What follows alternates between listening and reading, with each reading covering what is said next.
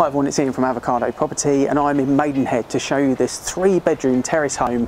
Three doubles being sold with no onward chain, driveway parking for two vehicles as you can see. There's a downstairs toilet, long living room full length of the property, UPVC double glazed. There is some updating needed internally. Come inside, let's have a look.